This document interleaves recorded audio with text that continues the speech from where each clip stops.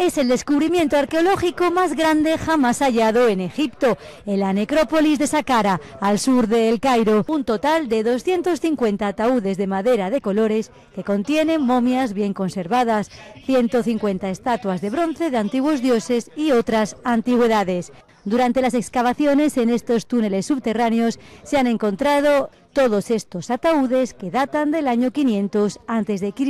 se encontraban dentro de varios pozos funerarios. En Saqqara se encuentra la pirámide escalonada de Zoser, la primera pirámide del mundo.